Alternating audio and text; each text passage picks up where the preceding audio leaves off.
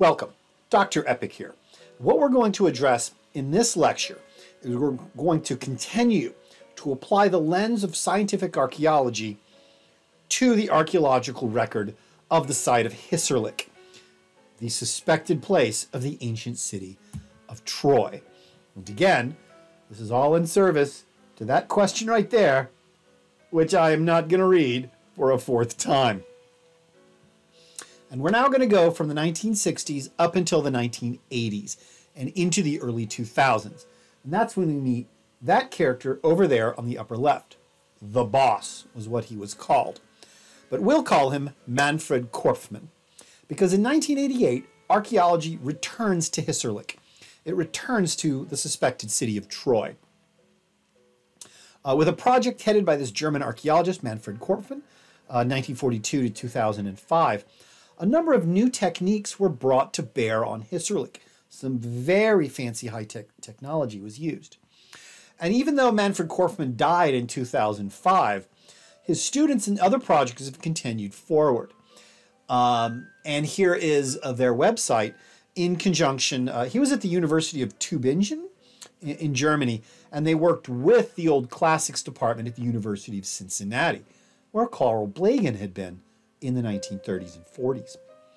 And even though the excavations in the 1990s and into the 2000s were very small, they were very, very scientific.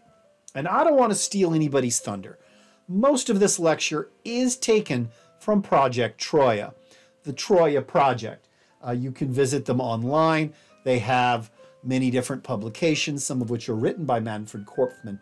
And I would highly urge you, if you're interested in this stuff, to look up the actual scientific archaeology conducted in the 80s, 90s, and into the 2000s. This is the current understanding of the sequence of Troy. Nine cities, some of which are internally divided. And you can see the map uh, there on the left. It's sort of color coded. There's both a side view above and a plan map on top, with the colors coordinating to each of the different cities. Troy 1, 2, and 3, these are maritime Troys. Troy 1 was just a small fishing village. It was succeeded by Troy 2, the most important and heavily fortified of the maritime Troys. Troy 2 was this city of these megarons, these columnated noble houses. And in the diagram to the left, you can see that Troy 2 is, is sort of this bright yellow. You can see it from the side and then from above. Troy 2 is succeeded by Troy 3, the last of uh, the maritime Troys, and that segues into the first of the Bronze Age Troys, Troy 4. This is the late Bronze Age Troy. Troy 4, 5, um, 6, and 7. Uh, and Troy's 5 and 6 aren't very well known. The largest and most wealthiest and most powerful of all of the cities of Troy was, of course, Troy 6. Troy 6 was that huge Bronze Age city that was destroyed in that cataclysmic earthquake. And in the map, you can see uh, Troy 6 is actually the uh, kind of the pinkish color. You can see it from the side and then from above. It's, it's literally right on top of Troy 2. Uh, and then there's an additional city which was added in, Troy 6H. Uh, Troy 6H is called, it's called a, it's the city of shanties.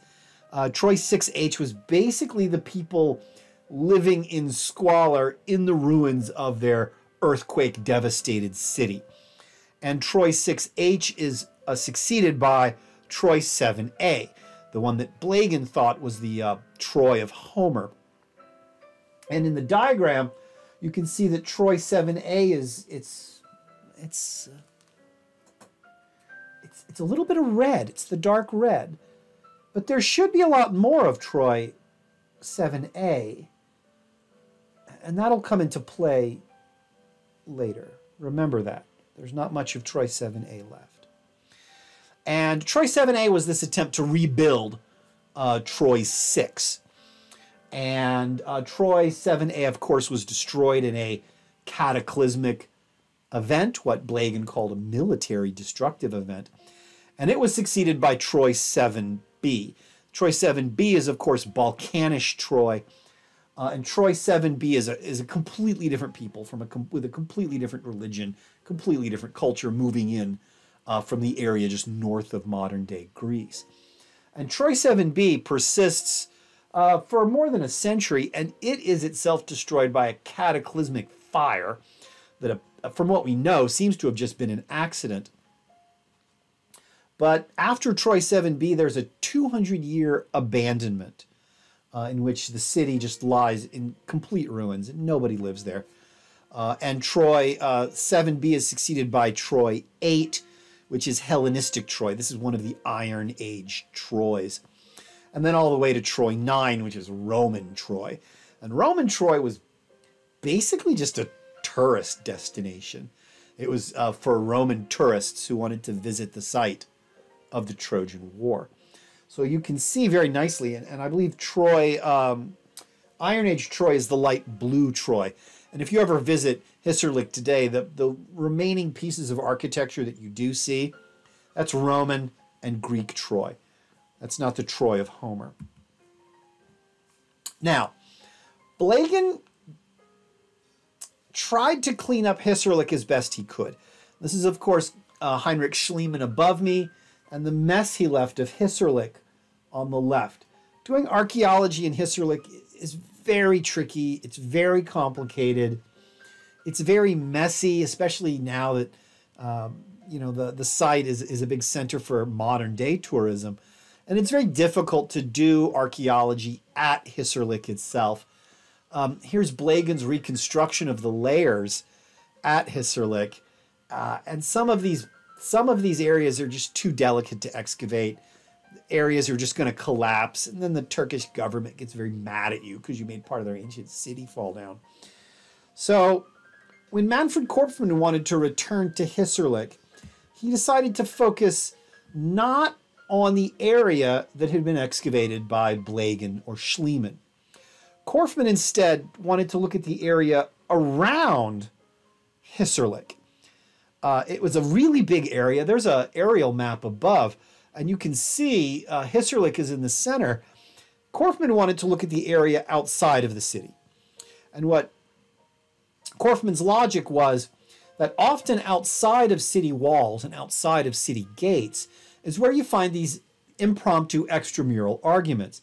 And Korfmann was interested in the economy of the late Bronze Age. And he had this theory that we're looking at Troy and we're looking at Hissarlik as if it's another Greek city. Korfmann's idea was that this is kind of backwards. We need to examine this city not as if it's merely another Greek city, but we need to look at it like it is a Middle Eastern city and has more in common with the Middle East than ancient Greece. So it's a big area. That's what he's interested in. It's a big area. And with his limited budget, he had to rely on something called remote sensing. Now, remote sensing is the use of technology to detect things that are in the ground without actually having to excavate in the ground. And remote sensing could involve anything from aerial photography to underwater sonar to ground penetrating radar. It could be a number of things. And Korfmann tried a number of things, including ground penetrating radar, uh, he used a technique called electric resistivity. But he achieved his greatest level of success with what that fellow on the left is carrying a new technology at the time called cesium magnetometry. Uh, he, he's carrying a, a, cesium magnetometer right there. Now, what a cesium magnetometer does is it uses uh, a chamber of cesium vapor. It electrically charges this chamber of cesium vapor to project a small uh, intensely powerful magnetic field downward. And then what it does is it measures how objects in the ground react to this powerful magnetic field being pushed into the ground. Uh, basically, a cesium magnetometer is a very, very, very, very, very powerful metal detector. It's far more powerful than any metal detector you can buy commercially um, or that you could buy it uh, recreationally. Um, and that's what a cesium magnetometer looks like. It's this big backpack. The, the cesium magnetometer is out in front. Now, cesium magnetometry was originally uh, developed for prospecting shallow mineral deposits. They were looking for copper in Nevada originally. Uh, and up above, there's a picture of diagrams on how different types of buried objects will yield different, will, will change the magnetic field differently. It's a magnetic field so powerful that even things that aren't metal will change the magnetic field. Now, cesium magnetometry has been embraced and refined by various governments since 1992, particularly the governments of France and Belgium, for reasons we'll get into in just a tick. Uh, and cesium magnetometers are very, very good at detecting mines and unexploded ordnance. Objects underground yield a slightly different magnetic signature depending on whether they are a big soft midden or a, a hollow pocket or a burial or a brick wall. And of course, concentrations of metal show up extremely well. Up above me is a diagram of how the magnetic field penetrates into the earth. And the technology, again, has been really embraced by France, uh, the governments of France and Belgium, largely because uh, the governments in France and Belgium have a big problems with unexploded ordnance. Uh, northwestern France and Belgium were the site of three massive wars in basically three generations. You've got all this buried, unexploded ordnance left over from World War II, World War I, and of course, if you go far back enough, the Franco Prussian War. And so, you know, it's very sad, but every now and again, you'll have just some French farmer is tilling his field, and the rain has brought up some shell fired in 1915, and his tractor plow will clip this shell and you know, it'll go off. It's very sad, but it happens. So they've invested a lot of time in, in this technology and they've really perfected the technology. And the technology has gotten so good that they can not only detect unexploded ordnances, but they can map some of the military terrain left over from these horrific conflicts. On the left there is a, a map that was produced in France, and it's a cesium magnetometer map of the old trenches from World War I. And as you can see, the cesium magnetometer is so powerful, it can map the filled in trenches. And thus, we can actually map these trenches left over from the First World War. Here is the bleeding edge of archaeological technology. And this is where archaeology is now, using really, really high technology to answer questions about the human past. Uh, and the cutting, more than just the cutting edge, the bleeding edge of technology is aerial, cesium, aerial cesium magnetometry. Uh, right up above me is a cesium magnetometer that's been mounted on the bottom of a drone. But other cesium magnetometers have been mounted on uh, UAVs. Uh, and indeed, the military is very, very keen on this technology. Because apparently, not only can cesium magnetometers detect unexploded ordnance or improvised explosive devices. Uh, they can actually fry electronic circuits uh, for timed bombs or mines, and thus are a re- may be a really powerful tool uh, to be used by the military. So, Manfred Korfmann decides to use cesium magnetometry to map what's around the mound of Hissarlik. And again, all he's looking for is an extramural settlement, maybe a small market outside the city gates or a small settlement of poor people that couldn't afford land inside the city gates. And that's not what he found. What he found was truly astonishing, and it astonished the world. Because what he found was an entire buried city, a massive city five to six times larger than the central mound at Hissarlik. If you look at this map on the left, Hissarlik is just the blue lines on the upper left. Everything else was mapped by cesium magnetometry by Manfred Korfmann's Troya project. Entire things came out of the ground streets, city walls, sanitation ditches, canals. Entire neighborhoods became visible through cesium magnetometry. And a lot of these cesium magnetometer maps were then placed shadowed on top of images from Google Earth. And the result was a map of the ancient city. The city was absolutely gigantic. and all of it was just very deeply buried, buried by thousands of years of earth, thousands of years of, of bioturbation, human activity had buried this massive city, exactly like the massive city described by Homer. Now, there's Manfred Korfmann on the lower left, and right up above me on the left is the map of what we understand now to have been the great city of Troy. The central area, the small citadel that had always kind of bothered Heinrich Schliemann, was only part of the ancient city. By far, most of the city lay outside of Hissarlik. This vast city, a walled city, extended far beyond Hissarlik itself, and Manfred Korfmann mapped it all using remote sensing and cesium vapor magnetometry. Hissarlik itself, here's one of our maps of Troy 7A and Troy 6. Hissarlik is merely the citadel. It's the downtown part of the city. The lower city of Troy extended over this massive area and was itself walled. Korfmann is still interested in city gates, and he's still interested in extramural markets, but to find them, he's got to go, you know, almost a kilometer away from Hissarlik. So Korfmann focuses on the city gates. And in the map of right there, in the map uh, uh, to your left, he focuses on the area that's shaded in black. That's what Korfmann excavates.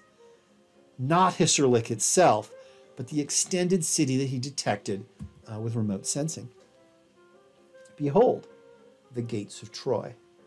These are the city gates of Troy 7a. And when Manfred Korfmann excavated the gates, he discovered a number of interesting things. The gates of Troy 7A are rebuilt versions of the gates of Troy 6, which of course shouldn't surprise us. But the gates of Troy 7A had been sealed. In fact, some of the lesser gates had actually been bricked up, and earth had been piled behind the gates. And these gates were never reopened. And as he excavated the gates of Troy 7A, he discovered that Troy 7A is characterized by burnt buildings, by collapsed architecture, burnt rubble, and human bodies. He found bodies, some of which had been some of which had been subject to great acts of violence. People had died in the street, the city had burned, and as the burned buildings collapsed, it buried these traumatized bodies which were laying unburied in the open street. Furthermore, near the gates, he had found piles of ammunition which had been stockpiled near uh, the city gates, in particular slingstones. Now, uh, he's German, and thus in, in Europe, they call what we call a sling in America, they call a catapult in Europe. And uh, up on the left, you see the catapult projectiles, the sling stones. And up above me is, is basically how you would use uh, one of these catapults. You'd whip it around and then and cut it loose. And this is actually an open question that I'm not going to answer for you. Why would you pile large piles of sling stones near city gates and then never put them away? Why would you leave bodies in the streets unburied or buried only by burned rubble? what happened to the people of Troy 7a? But Korfmann actually finds what he's looking for. He found numerous artifacts and objects that connected the city of Troy, well, if it's the city of Troy, to a vast trading network that largely expanded, that largely extended not to the west, but was really focused on the east they have this elaborate Bronze Age trading network that stretched all across the ancient Middle East and included the city of Troy. The city of Troy sat along this major trade route and one that tied it more closely with the other cities and kingdoms and empires of the Middle East than with ancient Greece. Now, we have to talk about the ancient Middle East for a second. Because right now we've talked about the Achaeans, we've talked about Troy, but none of this was taking place in a vacuum. Uh, the Middle East had been home to vast kingdoms and empires for thousands of years. And Troy is part of that area. And in particular, the whole time that Troy 7 is occupied and the whole time that Troy 6 is occupied, there is this large and powerful empire to their east called the Hittite Empire. The Hittite Empire lasts a thousand years. It was a major empire of the old Middle East. Uh, the Hittite Empire shows up in the Old Testament, hanging around with the Hebrew kingdoms. They fight a huge war with Ramses II of Egypt. And the Hittites are a big and powerful empire. And the Hittites kept records of political arrangements. They kept, on the upper left, is what one of these, these Hittite records look like. Because the Hittites had a very unusual system of empire. And I'll describe how the, the Hittite empire was organized. The Hittites had their own internal land. Uh, up above me, it's in light green. But what they would do with the Hittite Empire is then surround the core areas of their empire with these allied or subject nations. So they would roll into their neighbors and say, hey, you guys are now working for us and you have to pay us. But in return, if, if you are invaded or attacked, we're going to show up with all of this Hittite army to defend you. In other words, the Hittites were never bordered by any of their great enemies. And if any of the enemies of the Hittites wanted to attack the Hittite Empire, they had to first fight their way through, through one of these allied nations. And then they would be met by the main Hittite Empire. In this way, the Hittite Empire never fought a major war on its own soil, but would always meet the empire, uh, would always meet their enemies uh, far away from their own borders. But to run this Hittite system of empire, they had to have a number of set political agreements between themselves and their subject nations. And to make sure everyone understood the conditions of these treaties, they would write them down on clay tablets. And many of these clay tablets have been preserved. So we have these agreements between the Hittite emperors and all of these subject nations. We don't always know where these subject nations are, but they're around the Hittites. And in the recorded treaties of the Hittite Empire, you have a series of agreements between a kingdom that they refer to as Wilusa. And Wilusa, the kingdom of Wilusa, was one of these Hittite subject nations. And in the correspondence, we have Wilusa keep sending letters to the court of the Hittite emperor saying, Hey, you guys agreed to help us out if we're attacked, and we're under attack. You guys need to show up and help us. The Wilusans complain bitterly that they are under repeated attack from an enemy that they call the Hiyawa. So Wilusa is complaining that it's being attacked by Hiyawa. But there's all sorts of political shenanigans going on inside the Hittite Empire, and the Hittite Emperor never rides uh, to the rescue of the Wilusans.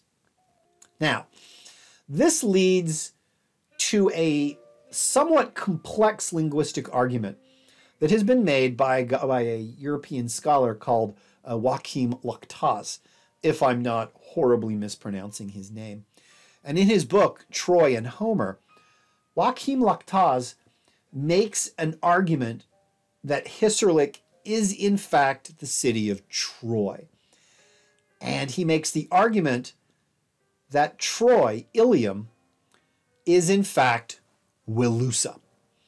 Now, he bases this argument on a series of linguistic shifts. He studies the language of ancient Troy, a language which was called Luwian and he compares this language to ancient Greek, archaic Greek. And one of the things that happens when you move names of people and places from one language into another is the language, the pronunciation of the name or the place will change. Hence, an Egyptian pharaoh named Khufu will be in Greek, his name will become Cheops. And I actually have a firsthand uh, understanding of this. My name is Keith. And I work a lot in Guatemala, but the problem is, is that in Spanish and in the Maya languages that they speak in Guatemala, there is no th sound. Th. that is that's a that's a sound from Germanic languages. It's not a sound from Romance languages. So people in Guatemala cannot actually pronounce the name Keith. Uh, they struggle with it. Most often it comes out like a kip or a kip. And what they're doing is they're translating the TH sound to a P sound. And this is how I am Keith in the United States, but I travel to Guatemala and everyone knows me as Keep. All right? Which is not a bad name. And even the Mayan, uh, the Mayan speakers that I, I, deal with in Guatemala, they can't even pronounce Keep. They just gave me a completely new name. Call me uh, uh, Mashiru, which means beard. At any rate, uh, so Joachim Latacz looks at how he's looking at how names shift from one language to another. So he takes the language, so he takes the name Wilusa, and he says, how would I pronounce Luwusa if I am speaking archaic Greek? Archaic Greek really doesn't have a W sound, and places in ancient Greek always should end in an M. So if I'm trying, if I'm an ancient Greek and I'm trying to pronounce Wilusa, I'm going to drop the W and add a UM on the end.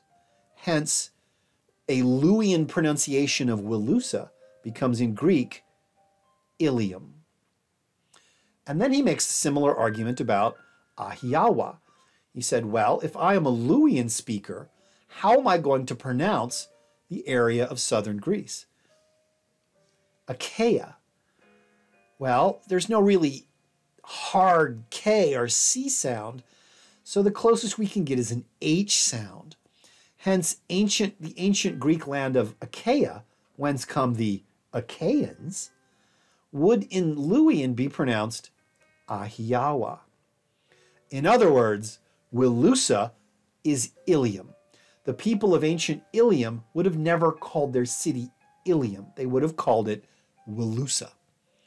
And, the, and they would have never called Achaia Achaia. They would have called it Ahiawa. In other words, Joachim Latacz makes a very complex and very compelling argument that the Hittite records are a first-hand account of the Trojan War.